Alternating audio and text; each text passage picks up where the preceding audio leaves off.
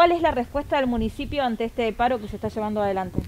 Sí, bueno, con respecto a eso estamos poniendo contenedores en 12 de los puntos limpios que tenemos eh, y estamos tratando de salir del apuro, como quien dice, eh, de esta manera.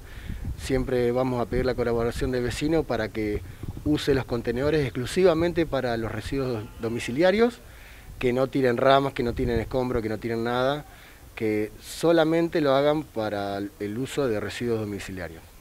Muy bien. ¿Cuántos puntos hay?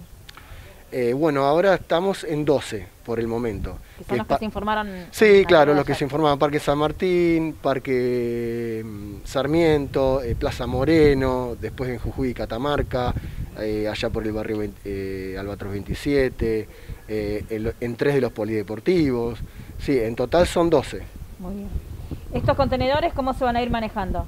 La idea, bueno, van a estar de 10 a 17, seguramente hoy que la ciudad está un poco colapsada, van a ir recambiando constantemente y bueno, por lo pronto mañana eh, se va a volver a repetir la operación, veremos el domingo y también veremos el día a día a ver qué pasa el lunes. Pero la idea, bueno, es ir eh, haciendo esta actividad. ¿Qué pasa con las delegaciones? Las delegaciones por ahora no estamos eh, tratando de coordinar con los propios funcionarios y vamos a ver si lo podemos resolver. Ahora estamos conjuntamente con el Ejecutivo reunido por esos temas, así que vamos a ver cómo resolvemos en estos minutos. ¿Qué pasó con el tema de la tormenta? Cuando, bueno, eh, fueron, creo que de público conocimiento, las imágenes que se vieron en diferentes sectores, ¿cómo pudieron trabajar ustedes?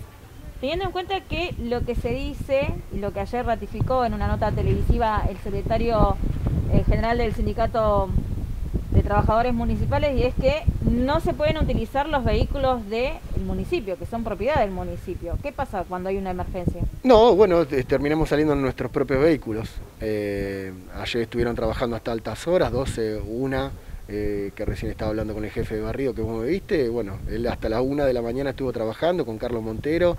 Eh, estuvieron ahí tratando de destapar todas las bocas de tormenta. Yo también he hecho un recorrido pero bueno, hasta ahora por suerte paró la lluvia y bueno, y eso nos ayudó a que nos lleve a mayores.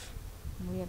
Esta planificación con respecto a esta situación de los servicios se va a ir planificando día a día, se hablaba de una privatización o terciarización del servicio. Por el momento no, por el momento estamos con los contenedores, bueno, vamos a ver en un futuro cómo resolvemos, esto es el día a día. Eh, y esperando siempre llegar a un acuerdo, siempre reunirse con, el gremio. El intendente siempre está predispuesto a juntarse, de hecho se ha juntado toda la semana. Eh, así que esperemos que lleguemos a un acuerdo por el bien de todos por último, el cementerio, ¿la guardia del cementerio la mínima está asegurada? La guardia del cementerio la mínima está asegurada, de hecho eh, el secretario, el secretario no, el director de servicio el otro día tuvo que ponerse a hacer eh, el trabajo de los muchachos conjuntamente con la ayuda de ellos, el jefe de cementerio también ahí, al pie de cañón, así que por ahora en el cementerio se está haciendo un trabajo, se está cumpliendo con el servicio.